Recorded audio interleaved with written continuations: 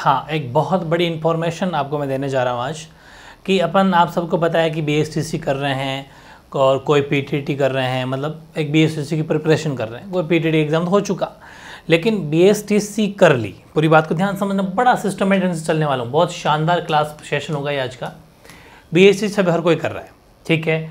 ये B S T C का entrance exam है एग्ज़ाम हो गया, ठीक? उसके बाद में, इसमें आप पास हो गए रिज़ल्ट आ गया, ये सब। सब जानेंगे अपन। पास होने के बाद में पास होंगे तो कितने मार्क्स से पास होंगे, ठीक है? पास होने के बाद में क्या होगा? हमारा फ्यूचर क्या है इसके अंदर? पूरा प्रोसेस है। बी एस का भी एग्ज़ाम होना बाकी है, जिसकी अपन प्रिपरेशन कर रहे हैं। और मैं एक छोटी सी बात फिर बता दूँ, आपको, मैं एक, जैसा कि आपको मुहिम चला रहा हूँ, ये B S T C separate हालाँकि सिर्फ़ बी एस टी सी के लिए कोर्स नहीं करवा रहा हूँ, हालाँकि मैं जो करवा रहा हूँ, वो कोर्स आपके आर एस लेवल को पूरा कंप्लीट करवाएगा। कंप्लीट सिविल सर्विसेज़ की प्रिपरेशन अपन कर रहे हैं। चाहे वो आई में भी अगर राजस्थान आता है तो कंप्लीट जी के यहीं से आएगा इंडिया जी के भी सब कुछ जितना भी मैं करूँगा, वो लेवल अप लेके, पूरा लेवल पूरा रहेगा। तो मेरी बात को ध्यान में चलते हुए रखना है आपको, किसी का भी कोर्स आपको परचेज़ नहीं करना है। मैं आपको बिल्कुल फ्री ऑफ़ कॉस्ट पढ़ाऊँगा, बिल्कुल फ्री ऑफ़ कॉस्ट कोई नो चार्ज और अगर आपको कहीं पर भी रत्ती भर भी फ़र्क महसूस हो जाए कि ये सर फ्री का कोर्स एक पैसे वाले कोर्स में फ़र्क है मतलब आपने काफ़ी ऐसा कुछ डिफरेंट मामूली सा भी लग जाए तो बता देना। आपको मतलब कहते हैं ना, इक्कीस ही मिलेगा, बीस नहीं। समझ में आ गई सवा मिलेगा हमेशा। हंड्रेड परसेंट घर वालों का पैसा नहीं लगना चाहिए। ऑनलाइन का और मज़ा क्या है फिर? ठीक है? आराम से पढ़ो फ्री ऑफ़ कॉस्ट शानदार यूनिक काम करेंगे। आजकल छोटे छोटे चैनल बनाने की मुँह उठा के आ जाएँगे। ये लो साहब, इतने में कोर्स परचेज इतना कोई कोई कोर्स का परचेज करने की ज़रूरत नहीं है। ए वन ए वन क्या? ए प्लस ए वन काम करेंगे अपन। बहुत ही शानदार तैयारी के साथ में काम करेंगे। और पे, चाहे बीएसटीसी करो, चाहे राजस्थान एलडीसी करो, चाहे आरएस करो, सब फ्री ऑफ़ कॉस्ट पढ़ेंगे अपन सब कुछ फ्री ऑफ़ कॉस्ट पढ़ेंगे शानदार वो भी। पर डे एक एक दो दो क्लास बस। ताकि साथ के साथ याद हो, तुरंत क्लास होते ही लाइव टेस्ट क्या ज़बरदस्त प्रिपरेशन होने वाली है, ठीक है? इसी जोश और जुनून के साथ पढ़ाई करनी है। दिन में दस क्लास मैं भी दे सकता हूँ, क्योंकि मैं जितनी ज़्यादा क्लास अपलोड करूँगा, सीधी सी बात, उतना ही ज़्यादा पैसा आएगा। ये आप आप भी समझ, दिल की बात यही है। लेकिन नहीं करना, क्योंकि ज़्यादा क्लास करके बर्डन आप पे बनेगा और एक दिन में क्लास आपके नहीं याद होगी। हाँ टाइम के अकॉर्डिंग चलेंगे। टाइम से पहले कोर्स करेंगे, ये पक्की बात है। तो आगे समझते हुए चलो कि आपने B S T C B का बी एस टी सी का फॉर्म भर दोगे। जब इसका फॉर्म निकलेगा पास हो गए। अब पास होने का मैंने पूरा सर्च किया है। काफ़ी सर्च किया है, काफ़ी मेहनत की, इसलिए आज सेशन लेके आया हूँ। लगभग लगभग पिछले सालों के रिकॉर्ड को मैं उठा के देखता हूँ तो 390 और 400 नंबर जो लेके आया आउट ऑफ़ 600 600 में से, उसी को कॉलेज मिली है, वरना कॉलेज नहीं मिली है। मतलब अगर आपको बी एच में पास होना तो 400 से कम तो किसी भी हालत में नहीं आने चाहिए। लड़कियों के कोई पाँच दस कम रह जाते हैं तो उनको भी फिर भी थोड़ी बहुत छूट है। तो अपना टारगेट वैसे साढ़े चार सौ, पाँच सौ का है। और मेरे नोट्स में से तो आपको छः सौ में साढ़े पाँच सौ बनेंगे। छः सौ ही बनेंगे, कोई दिक्कत वाली बात नेगेटिव मार्किंग वैसे भी नहीं है। लेकिन फिर भी अगर आप बी एस सेपरेट की जानकारी लेना चाहते हो तो मैं यही कहूँगा कि 400 से नीचे अपन को नहीं आना किसी भी सूरत में। इसका मतलब यही है, हमेशा आप ध्यान रखो, अभी रीट का रिज़ल्ट आया लेवल फ़र्स्ट का, अभी जस्ट दो दिन पहले ही रिज़ल्ट रीट लेवल फ़र्स्ट का और रीट लेवल सेकंड का रिज़ल्ट आया है। उसकी कट ऑफ़ क्या रही है? उसका एग्ज़ाम 300 नंबर का होता है, बताऊँगा आगे पूरी प्रोसेस है। 300 में से 200 वाले पास हुए हैं। 205, 203, 202 अकॉर्डिंग टू जनरल ओबीसी लगभग 205 तक मेरिट गई है। तो एक बात को आप समझ गए होंगे कि लगभग लगभग जो मेरिट जाती है वो सत्तर परसेंट लगभग सत्तर परसेंट अस्सी पचहत्तर परसेंट पर सबका सिलेक्शन हो जाता है। गवर्नमेंट वैकेंसी बात कर रहा हूँ मैं। सौ परसेंट के पीछे नहीं भागना है। ज़िंदगी में एक असूल बना लो। एक एक असूल बना लो कि अगर आपको सिलेक्शन लाना लेना है गवर्नमेंट जॉब में तो एक चीज़ का ध्यान रखना पढ़ने से ज़्यादा ज़रूरी क्या है? क्या छोड़ना है? ये जिस दिन आप ये ट्रिक सीख जाओगे ना, क्या छोड़ना है? आपको क्या लगता है, अभी आप क्या नए नए हो? और पुरानी भी हो जाओगे ना तो खूब की आदत क्या होती है? इतनी सारी बुक्स ला ला के भंडार भर देंगे लाइब्रेरी बना देंगे अपने रूम को, ठीक है? न जाने कितनी बुक्स ले आएँगे। मैं बार बार एक ही कहूँगा, सौ बुक पढ़ने की बजाय एक बुक को सौ बार पढ़ा जाए, ठीक है? ये ध्यान रखना इसलिए ज़रूरी है क्या छोड़ना है। और अगर मेरे नोट्स पढ़ लिए प्रॉपर जितना भी डेटा मैं आपको दे रहा हूँ नाइन्टी परसेंट कोर्स कवर करेगी। हंड्रेड परसेंट ही करेगी आपका तो लेकिन मैं फुल लेवल का बता रहा हूँ। नाइन्टी परसेंट तो हु क्वेश्चन मिलेंगे। हु और बताइए, इतना चैलेंज है मेरा। और कट ऑफ़ सिलेक्शन कहाँ हो जाएगा? सत्तर परसेंट पर। तो एक बात का ध्यान रखो सौ परसेंट के पीछे कभी मत भागना। पहला काम है कि जितना करवाया जा रहा है, इसको पढ़ा जाए, इसकी एक एक टिप्स नब्स बिल्कुल पकड़ ली जाए, आराम से सिलेक्शन हो जाएगा। समझ में आ गया आराम से, हँसते खेलते। जो पूरे के पीछे भागते हैं ना, उन्हीं की हालत ख़राब होती है। पूछ लेना किसी से भी। बी का एग्ज़ाम हो गया पास हो गए, इतने मार्क्स आ गए तो। फिर कॉलेज का फॉर्म भरोगे कॉलेज कौन सी लें? ठीक है? क्योंकि ये तो सिर्फ़ एक एंट्रेंस एग्ज़ाम है ना। उसके बाद कॉलेज अलर्ट होगी आपको तो कॉलेज अलर्ट हो गई। अब कॉलेज में आप, हर कोई चाहता है कि मेरी पसंद की कॉलेज मिले मतलब मेरे पास ही कॉलेज मिले, ताकि जल्दी से जाके आ जाए। अपनी पसंदीदा कॉलेज मिले, या फिर कोई दूर अदर डिस्ट्रिक्ट में कॉलेज मिले कॉलेज दो तरह की मिलती है, या तो आपने की पसंदीदा, या फिर ये। अब पसंदीदा अगर चाहिए तो 400 प्लस नंबर लेके आओ, साढ़े चार सौ, सवा चार सौ चार सौ बीस लेके आओ तो जो कॉलेज भरोगे, अपने बिल्कुल आपके पास मिल जाएगी, घर से जाओ, बिल्कुल पढ़ के आ जाओ बी एस होगी, पता भी नहीं चलेगा। या फिर आपको कोई अलग डिस्ट्रिक्ट मिलेगा। लेकिन एक फ़ायदा बताऊँगा अभी ध्यान समझना। तो फॉर्म में कैसे भरें? फॉर्म में कॉलेज कैसे भरें? तो आओ इधर, बताता हूँ। ऐसे भरना है। कॉलेज पहले 20-25 के करीब भरवाता है और शायद 20 भरवाता है मेरे हिसाब से। जब आप फॉर्म भरोगे ना बी की वैकेंसी जब आएगी, उसमें 20 से एक के करीब तो आप लाइन वाइज भर देना। सबसे पहले आपके पास वाली, फिर पास पास वाली पंद्रह बीस कॉलेज भरनी है। ठीक है? वो भरने के बाद में लास्ट में एक ऑप्शन आता है ओल्ड राजस्थान तो खूब जो है ओल्ड राजस्थान को टिक नहीं करते, लेकिन आपको कर देना। ओल्ड राजस्थान टिक कर देना, इसमें क्या फ़ायदा हुआ? नंबर कम भी रहेगी ना तो राजस्थान में कहीं और कोई ज़िले में आपको जो है, आपके कॉलेज मिल जाएगी।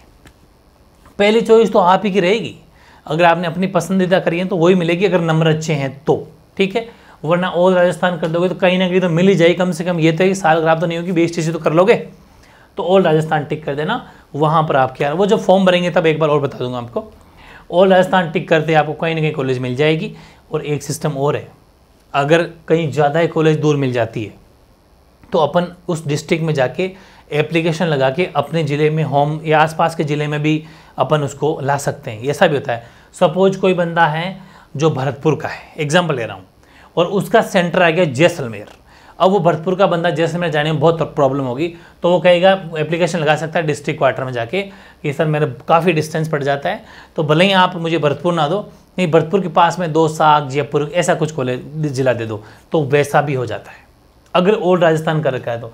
वरना अगर इस 20 कॉलेज के लिए नंबर होंगे फिक्स कि भाई लास्ट इन 20 कॉलेज में अगर एडमिशन चाहिए, जिसके भी 400 नंबर है, वो यहाँ पर आ जाएँगे, वरना आउट अब जिनके 400 नहीं पहुँचे, तीन सौ नब्बे रह गए तो फिर वो उस साल बी एस कर ही नहीं सकता फिर तो। अगर उसने ओल्ड राजस्थान नहीं किया है तो।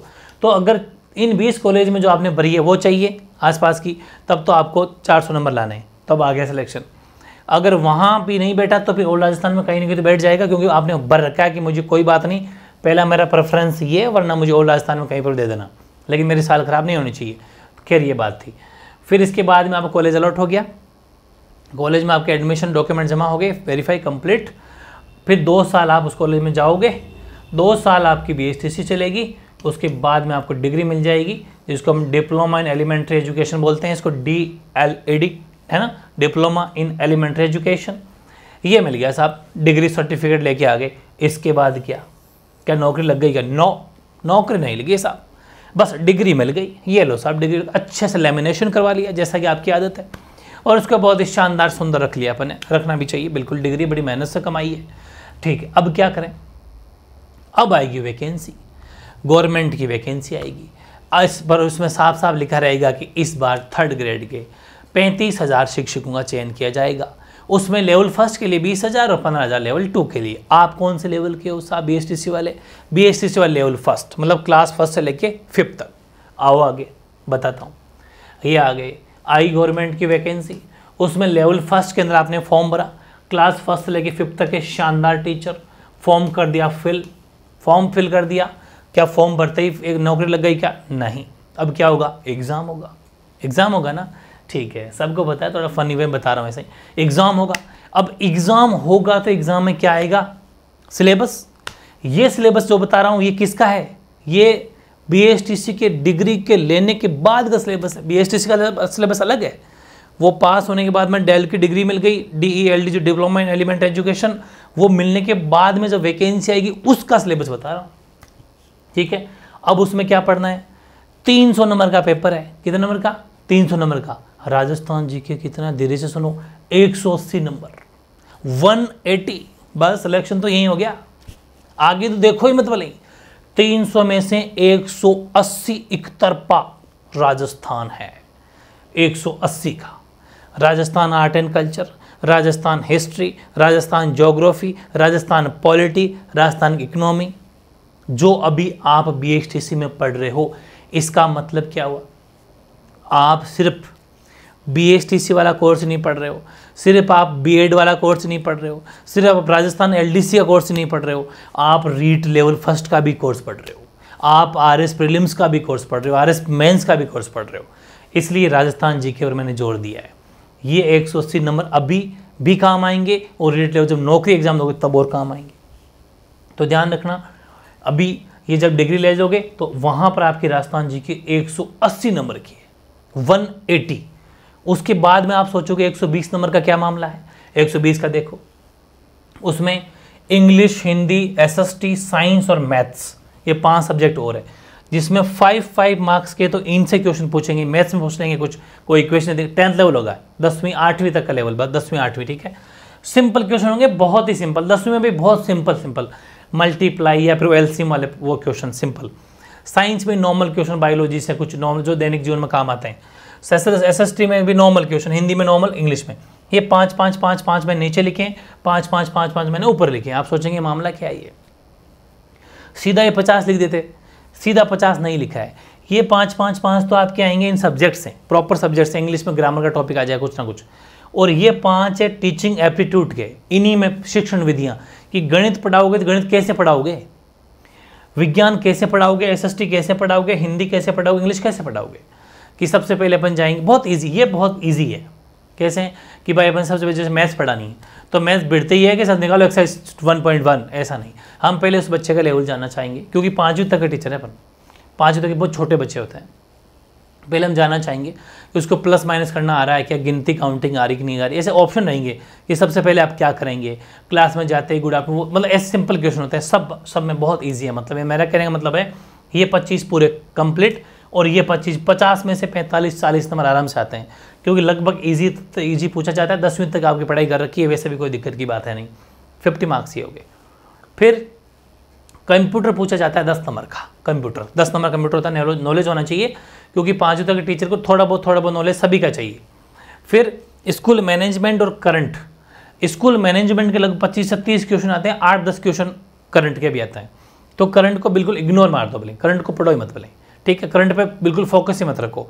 करंट के, क्योंकि फालतू में तुम करंट पे पागल हो जाओगे फिर, ठीक है? खूब दुकानें चल रही है तो आप कहीं दुकान में फंस जाओ, है ना? तो करंट पे बिल्कुल मैं तो कहता हूँ इग्नोर मारो दस नंबर, क्या फ़र्क पड़ता है?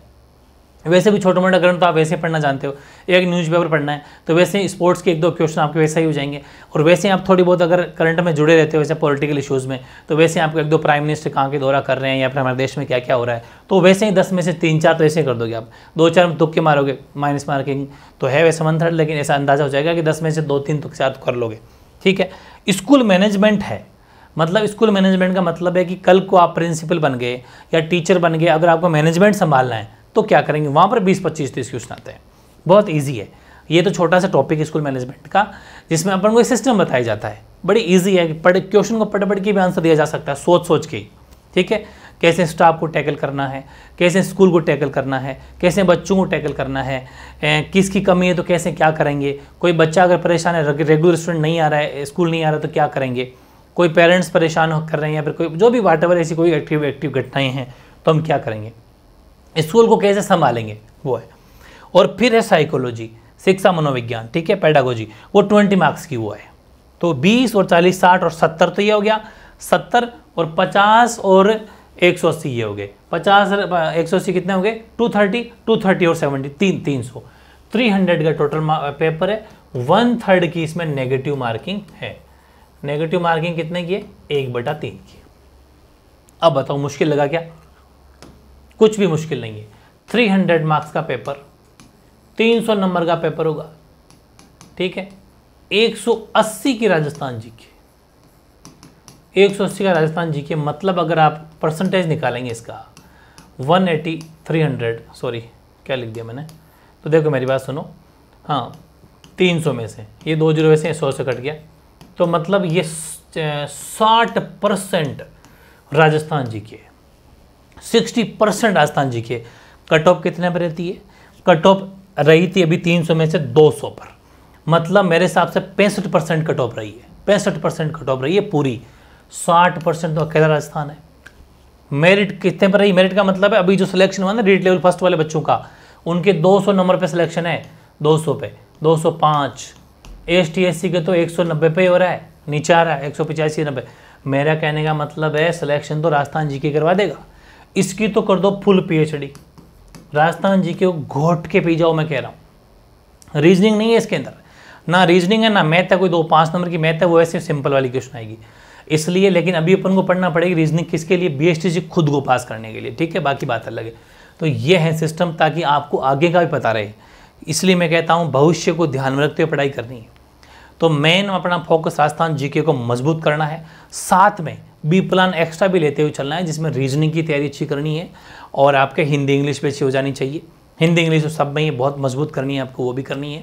और हिंदी इंग्लिश रीजनिंग और मैथ ये थोड़ी बहुत ध्यान में रखना है। बाकी राजस्थान जी के घोट के पीना है, ठीक है? राजस्थान कोई सी वैकेंसी अगर फाइट करना है तो। इसलिए आज का मैंने सेशन रखा है। आई होप सारे डाउट क्लियर हो गए होंगे, क्योंकि बहुत सारे स्टूडेंट्स के डाउट था कि रेट मामला है क्या रेट का झंझट क्या है। तो मैंने line to line step by step सिखा दिया। आप चाहो तो कहीं पेज में लिख लिया करो ताकि अंडरस्टैंडिंग रहो अंडरस्टैंड रहेगी आपकी ये बात। है ठीक है? और भी कोई भी कैसा भी डाउट रह जाए तो कमेंट कर देना सोल्यूशन आपको मिल जाएगा। ठीक है?